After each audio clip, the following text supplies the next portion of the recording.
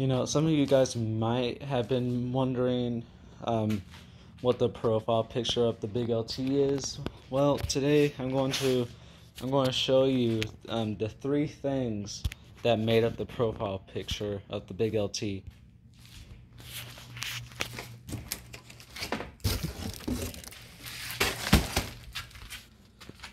There's two of them. Yep, the Troy the Troy-Bilt front wheel drive mower is that red is that red thing in the middle of the profile picture.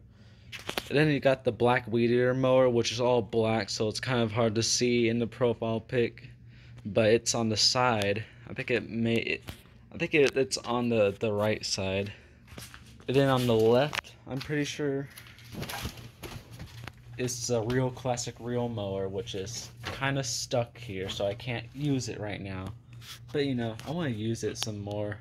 It's another, it's it's a cool collector's item for mower enthusiasts at least, even though it's motorless, unlike these two.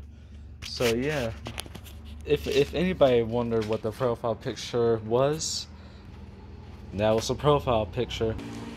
The garage was closed and the lights were not bright enough for me to take a picture of them, all three of them here. So I, I used my dad's camera and flash and took the picture. So that's what that's the reason why the the picture the profile pic kind of looks greenish. But yeah, there's that. That's so, that's for anybody who was wondering what the profile picture looked like. Well, I mean, what the profile picture was.